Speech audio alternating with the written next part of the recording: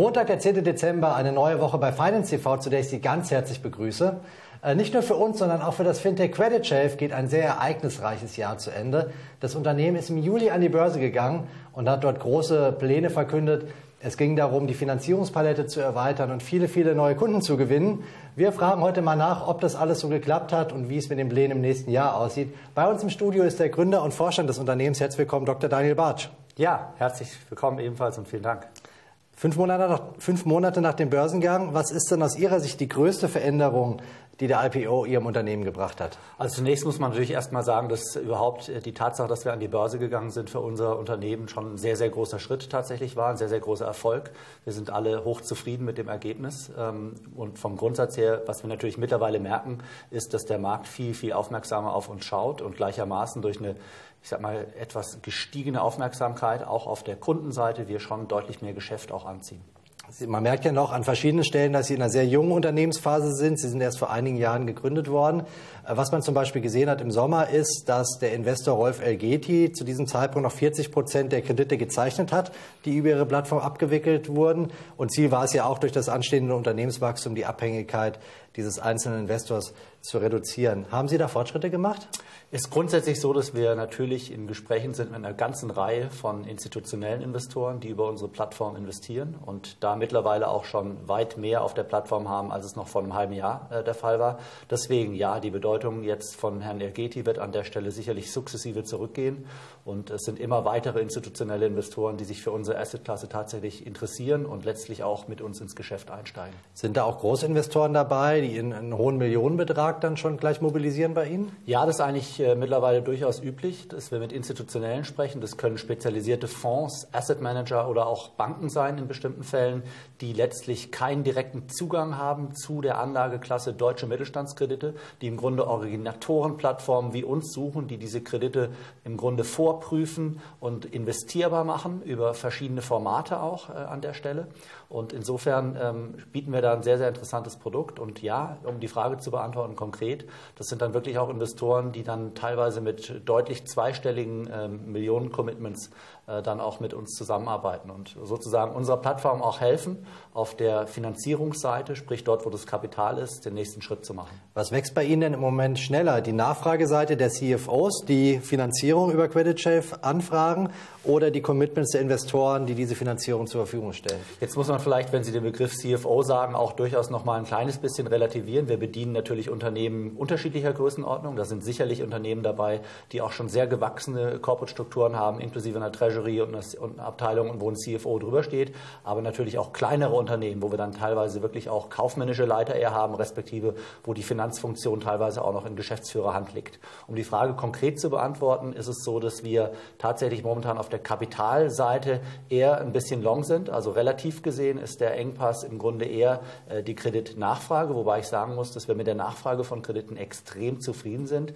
Wir haben in äh, den ersten neun Monaten in diesem Jahr über 700 äh, Millionen Euro an Kreditanfragen verzeichnet, die wir über unsere Plattform prozessiert haben. Leider können wir nicht in allen Fällen tatsächlich auszahlen, weil natürlich, wie gesagt, wir machen die Analyse. Man muss auch schauen, was davon ist wirklich am Ende vom Tag Kreditgeschäft. Aber um das Ganze nochmal in Relation zu setzen, wir haben in den ersten neun Monaten in diesem Jahr, was das Anfragevolumen betrifft, im Grunde die Hälfte der gesamten Finanzierungsanfragen, die wir seit Bestehen von Credit Shelf haben. In den ersten neun Monaten haben wir davon die Hälfte gesehen. Das heißt, wir wachsen unheimlich dynamisch, was oben die Kreditnachfrage betrifft.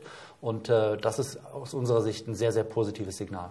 Was für Trends beobachten Sie denn gerade auf Ihrer Plattform, was die Finanzierungsarten angeht, die nachgefragt werden und auch die Losgrößen, wie die sich entwickeln? Ja, also wir stellen natürlich fest, wir sind in einem Marktumfeld, äh, was natürlich durch gewisse exogene Faktoren äh, getrieben äh, immer noch extrem ähm, kompetitiv, beziehungsweise wo wir ein Zinsumfeld sehen, was extrem tief ist, auch ein Margenumfeld, was tief ist. Das haben wir in diesem Jahr auch nochmal insbesondere gesehen, dass tatsächlich da Druck drauf ist. Wir sehen auf der anderen Seite, dass die Unternehmen versuchen, sich dieses Zinsumfeld jetzt durchaus noch mal ein bisschen länger äh, zunutze zu machen. Das heißt, die Anfragen, die wir sehen, werden tendenziell ein bisschen länger.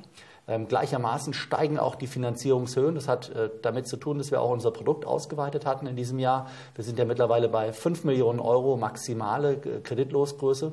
Insofern haben wir gesehen, in den ersten neun Monaten in diesem Jahr jetzt eine Durchschnitts, äh, einen Durchschnittskredit äh, auf unserer Plattform von knapp über 600.000 Euro. Und äh, insofern sind wir da auch nochmal etwa 20 Prozent gewachsen gegenüber den neun Monaten im Vorjahr. An welcher Phase des, der Unternehmensgeschichte Sie gerade stehen, sieht man jetzt auch an den Geschäftszahlen, die Sie jetzt neuerdings äh, regelmäßig vorlegen müssen. Nach neun Monaten ähm, steht da lediglich ein Umsatz von 1,5 Millionen Euro zu Buche, allerdings bei einer Wachstumsrate von, von über 100 Prozent. Bei welcher Umsatzgröße liegt denn so in etwa die Break-Even-Schwelle für Credit Shave? Gut, wir haben immer gesagt, wenn wir perspektivisch nach vorne schauen, ist unser Ziel, dass wir 500 Millionen Euro an Krediten machen möchten pro Jahr. Das heißt, es wird in der mittleren Frist äh, erreicht werden. Und das ist sicherlich ein Bereich, wenn Sie das mal umsetzen, sozusagen in Umsatzerlöse, die dann nebendran stehen, in dem man dann auch Break-Even sein kann mit so einer Plattform. Momentan, was wir sehen, sehr, sehr starkes Wachstum, wie Sie richtigerweise sagen. Und für uns steht primär jetzt im Vordergrund, auch im kommenden Jahr, dieses Wachstum weiter äh, zu, zu, umzusetzen, dieses Wachstum sozusagen weiter auch anzuschieben und zu befeuern. Und äh, insofern steht für uns die Profitabilität, was jetzt das kommende Jahr betrifft, vielleicht noch nicht unbedingt im Vordergrund. Wird sich für Ihre Kunden 2019 etwas verändern, was Ihr Angebot angeht oder die Gestalt der Plattform? Vom Grundsatz her haben wir gesagt, es gibt drei wesentliche Quellen, wie wir unser Wachstum ähm, abbilden möchten. Das erste ist organisches Wachstum, das heißt, wir werden mit bestehenden Produkten und äh, letztlich zusätzlichen und neuen Kunden natürlich auch die Plattform weiter wachsen lassen.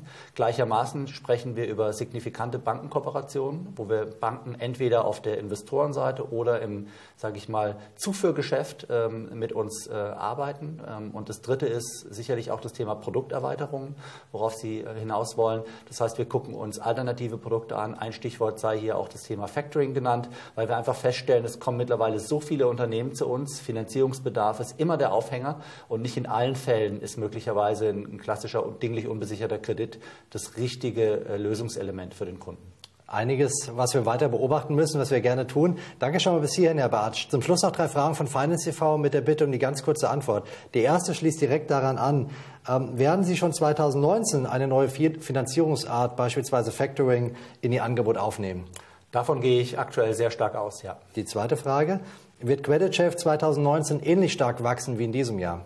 Auch davon gehen wir aus, weil wir einen sehr, sehr spannenden Markt vor uns haben, der wirklich enorm groß ist, wo wir gerade erst ganz, ganz am Anfang stehen ähm, in der Penetration. Deswegen gehen wir davon aus, dass dieses starke Wachstum auch im kommenden Jahr weiter anhalten wird. Und die letzte Frage, planen Sie die Kredithöchstgrenze, die aktuell bei 5 Millionen Euro liegt, dieses oder im nächsten oder übernächsten Jahr weiter anzuheben? Ich glaube, dass äh, das äh, interessant sein könnte, aber wir haben momentan noch keine direkten Pläne in diese Richtung.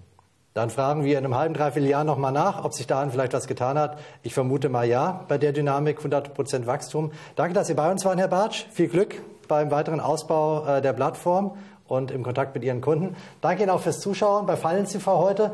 Am Freitag haben wir wieder einen CEO hier, und zwar den CEO des, der Unternehmensberatung Wart und Klein, der berichten wird, wie sich das Unternehmen im Wettbewerb mit den Big Four und den angrenzenden Next Ten im nächsten Jahr positionieren will. Spannendes Interview, schauen Sie rein und bis dahin eine gute Woche. Tschüss.